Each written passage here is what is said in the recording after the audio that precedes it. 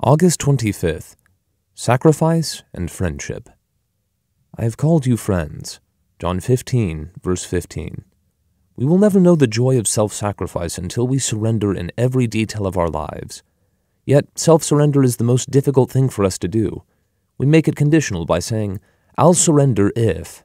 Or we approach it by saying, I suppose I have to devote my life to God. We will never find the joy of self sacrifice in either of these ways.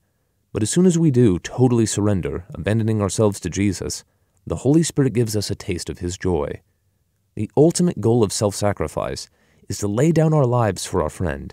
See John 15, verses 13 through 14. When the Holy Spirit comes into our lives, our greatest desire is to lay down our lives for Jesus. Yet the thought of self sacrifice never even crosses our minds, because sacrifice is the Holy Spirit's ultimate expression of love. Our Lord is our example of a life of self sacrifice, and He perfectly exemplified Psalm 40, verse 8 I delight to do your will, O my God. He endured tremendous personal sacrifice, yet with overflowing joy.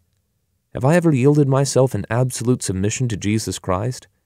If He is not the one to whom I am looking for direction and guidance, then there is not benefit in my sacrifice. But when my sacrifice is made with my eyes focused on Him, Slowly but surely, his molding influence becomes evident in my life. See Hebrews 12, verses 1 through 2.